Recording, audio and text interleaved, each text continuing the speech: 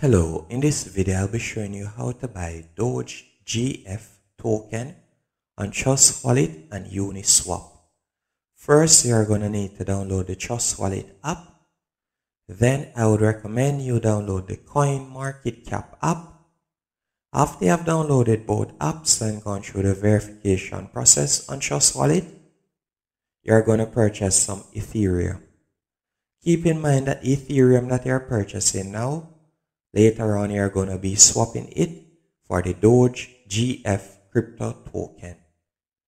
After you have done your purchase of the Ethereum, you're going to go into the Coin Market Cap app.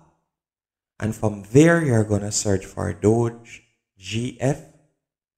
And you'll be led to a page just like this on which you can look on some analytics. And when you scroll down, you can read more about the crypto token and right where you see Ethereum, you're going to tap on those two boxes.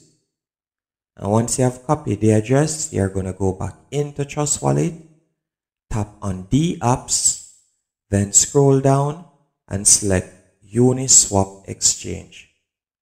Once Uniswap Exchange loads up, you will see the Ethereum that you had purchased earlier and you're going to tap on select a token and in the search bar, you're going to paste the link you have just copied. Let me copy the link again.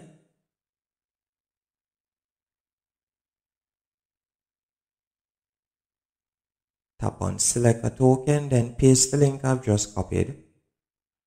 Then I'm going to tap on import, then tap on import again. And now you'll be able to swap the Ethereum for the Doge GF crypto token.